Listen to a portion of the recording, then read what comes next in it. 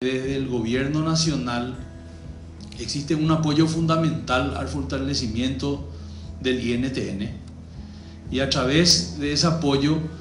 fortalecer a la metrología como una ciencia fundamental del desarrollo económico y expresarles que, que el gobierno nacional apoya esta ciencia fundamental para el comercio, la industrialización y el desarrollo de la nación. Creo que es sumamente necesario en reuniones como estas, en donde también vemos la importancia que el país le pone, porque declarar una semana nacional como Semana SIM es porque se demuestra y se denota el interés y la importancia que por lo menos se le está tratando de dar.